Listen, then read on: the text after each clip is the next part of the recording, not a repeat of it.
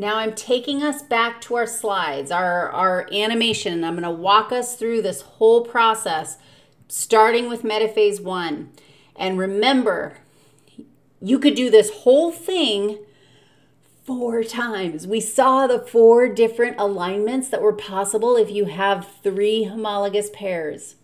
I forgot to tell you, and I can't write on this PowerPoint, but you can do the math. The number of arrangements for independent assortment, the number of different ways that those chromosomes can line up is 2 to the n power.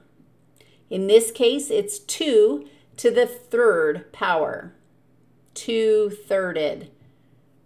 2 squared is 2 to the second power. 2 to the 3 power. I don't know how to say that. Somebody help me. I'm sorry. I should know how to say that. But 2 to the third power is 8, which means there are 8 possible gametes resulting just from independent assortment in metaphase. 2 to the 23rd power, it's like 8 million. There's 8 million possible gametes from independent assortment alone during meiosis in your gonads ahora right now. What? I would say pat your gonads, but maybe don't do that right now. Okay, shall we continue? Your gonads are amazing. We already know homologs split in anaphase 1. I don't really care about all the other things, right? Although anaphase of mitosis is as simple as saying sisters split.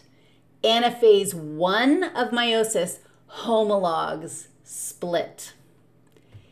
This is the moment that we say, hmm, we have turned from a, a diploid cell into a haploid cell.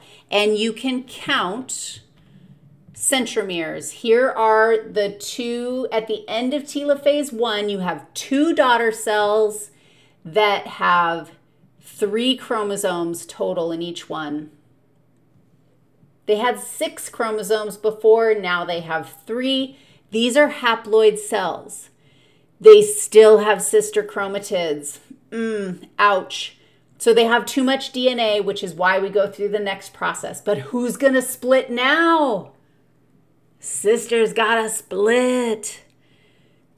This mitosis, meiosis 2, is identical to mitosis. We're just splitting chromatids. We're split, split, we're splitting sister chromatids. Let's watch. Here come our little whatevers, our centrioles and our spindle fibers. We're attaching. We line up on the metaphase plate just like normal, but do you see how this is like mitosis? Homologs line up independently. Well, in this case, we don't have homologs in the cell anymore, right? Because they're in the, the next cell. They got separated. Poor guys. In metaphase, this looks just like mitosis with half the chromosomes. Metaphase 2. Anaphase 2, what's going to happen? Sister's gonna split.